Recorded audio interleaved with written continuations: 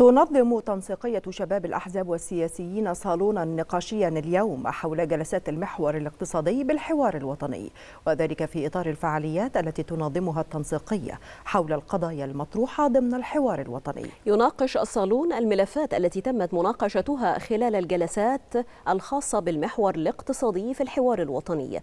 والمتعلقة ببرامج الحماية الاجتماعية وملف الاستثمار المحلي والأجنبي وقطاع السياحة والصناعة